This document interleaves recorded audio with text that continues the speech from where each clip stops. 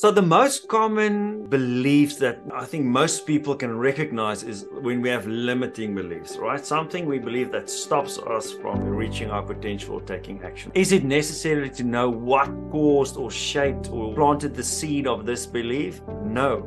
It doesn't matter because sometimes you just you don't know. You don't know. You were either too small and then you can only guess. Even if I don't know, even if I couldn't interview my parents and figure all of that out I can still see this belief is not serving me. And I don't have to understand why I believe it. I can just see, well, it's not healthy.